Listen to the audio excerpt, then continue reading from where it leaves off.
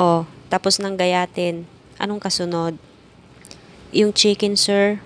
Okay, sige. Kinuha ang manok sa ref at hinugasan bago ginayat. Nakatanghod lang naman ako sa kanya, baka mamaya eh magalit na naman. Iba palang magalit si sir, manunuklaw. Ganito lang ba kaliit? Liitan mo pa sir ng konti. Matapos nun ay kinuha ko ang kawali at nilagay ko sa lutuan. Ako na magluluto. Sabihin mo na lang sa akin ang gagawin ko. Sige sir. Habang nag-aantay kami ng pagluluto niya, ay panay ang kwentuhan namin. Mira, alam mo ba, mga prito lang ang alam kong lutuin. Ngayon lang ako nakapag-try magluto ng ganito. Di po ba nagluluto si Ate Jen? Medyo nalungkot to nang banggitin ko ang pangalan ni Ate Jen. Wala din siyang alam lutuin. Nabili lang kami sa labas. Ganon ba, sir? Alam mo, Mira, ngayon ko lang napatunayan na di pa handa si Jen sa pag-aasawa. Wala pa siyang alam gawin.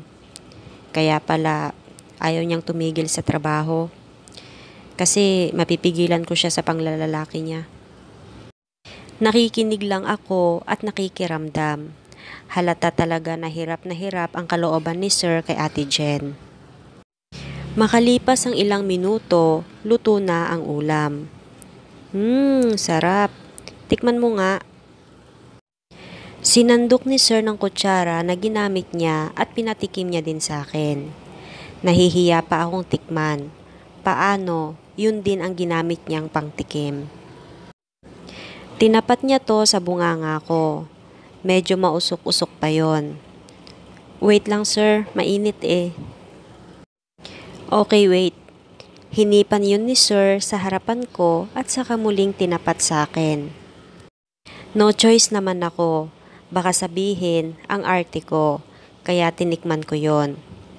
Ano, masarap ba? Sakto lang sir, pwede ka nang maging chef. ang galing kasi ng teacher ko eh. Sabay pisil sa ilong ko. Napakapit na lang ako sa ilong habang nakangiti Kampante si sir na ganunin ako. Si sir talaga. Wait, gigisingin ko si Regine para makakain. Wag na sir, mabibitin ang tulog niya. Baka mag-iyak na naman. Napakain ko naman siya bago matulog. Ganun ba? Ang galing naman. Nurse na nga, yaya pa ng anak ko. Tapos, chef ko pa. Napatingin ako kay sir na nakangiti sa akin. Tumungo na lang ako nang nakangiti. Di ko talaga kayang salubungin ang mata ni sir. Nakakatunaw. Matapos naming kumain, ay niligpit ni sir ang pinagkainan namin. Si Regine naman ay chinek ko kung bumaba na ang lagnat.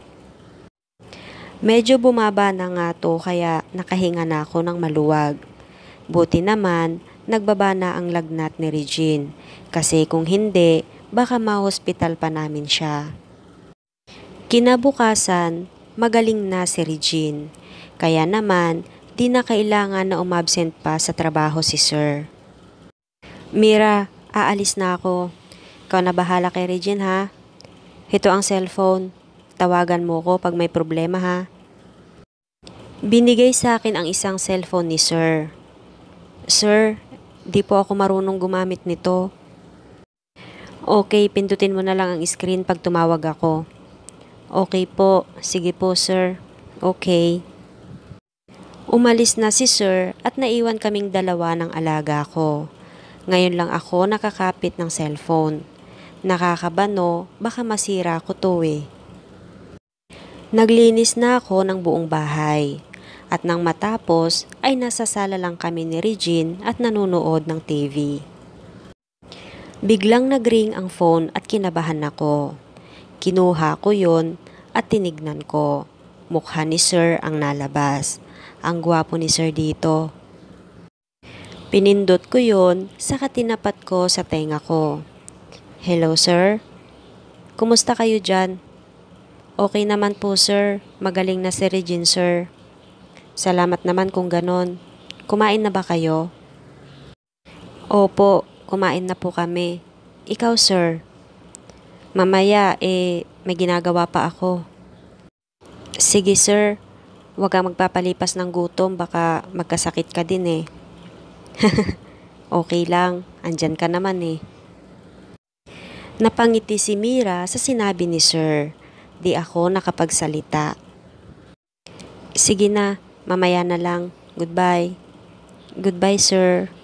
Saka pinatay ni Michael ang cellphone at napangiti siya. Nakita naman yon ni Melissa. Hoy, ano yan? Don't tell me, kinikilig ka pa sa asawa mo. no. Eh, ano yung ngiti mong yan? Wala. Sus, pumapag-ibig kayo ha?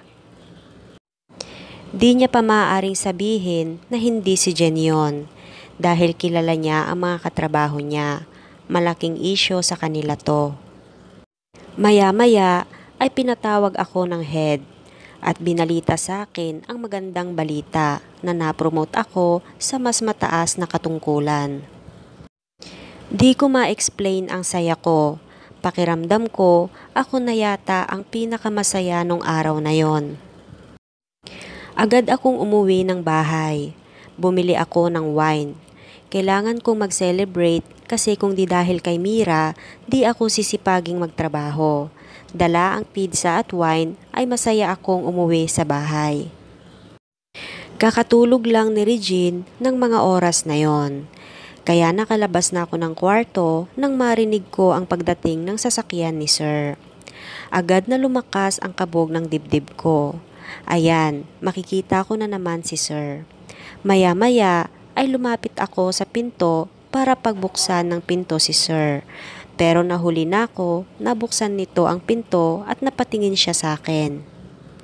Nakangiti ito at agad na sinalubong ako. Saka ako niyakap ng mahigpit. Nagulat ako sa pangyayari. Ramdam ko ang init ng katawan ni Sir, pati ang pisngi niya na nakadikit sa pisngi ko. Sir, bakit po? Tanong ko sa kabila ng pagkakayakap niya sa akin. Bumitaw to sa akin at saka ako hinarap. Napromote ako, Mira. Uh, ang saya-saya ko, napromote ako.